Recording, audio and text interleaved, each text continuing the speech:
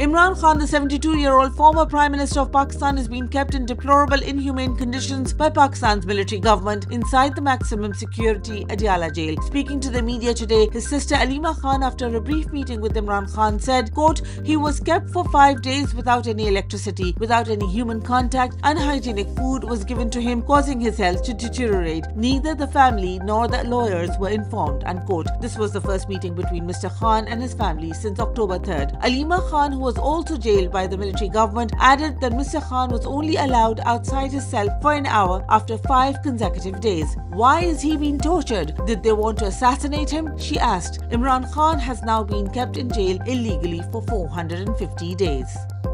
Imran Khan, the illegally incarcerated former Prime Minister of Pakistan, has said Pakistanis are living under occupation similar to British colonial occupation in the subcontinent. In a brief message to Pakistanis from his death cell, Mr. Khan said, quote, It seems we are living under colonial occupation in Pakistan where freedom of expression and protests are banned. We don't have permission to stand for our rights. We, the people of Pakistan, must decide whether we want to crawl like ants in our country or stand for freedom and our fundamental rights. Unquote.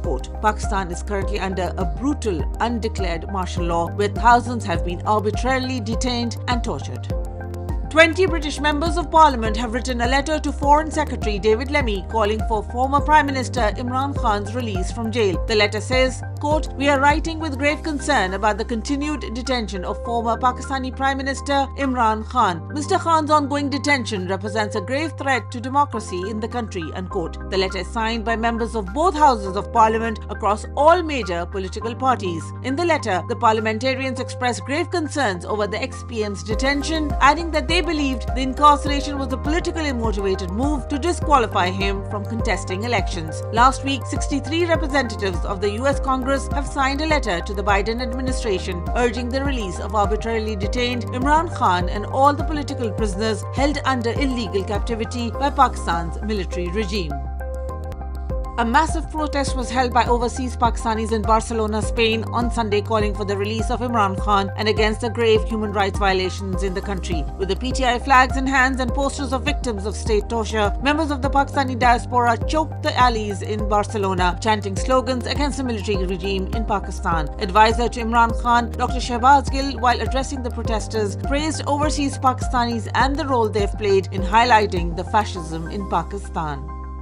Microsoft has fired two employees who organized a vigil at the company's headquarters for Palestinians killed in Gaza during Israel's war with Hamas. The two employees told the Associated Press they were fired by phone call late Thursday, several hours after a lunchtime event they organized at Microsoft's campus in Redmond, Washington. The occupation Israeli state has killed 43,000 Palestinians and wounded more than 100,000 since October last year, with 11,000 missing, presumed dead under the rubble of their homes and other civilian infrastructure destroyed by the occupation state. Abdu Muhammad and Hussam Nasr told AP News Agency that they organized a vigil at the company's headquarters, quote, to honor the victims of the genocide in Gaza and draw attention to Microsoft's complicity in this genocide, unquote.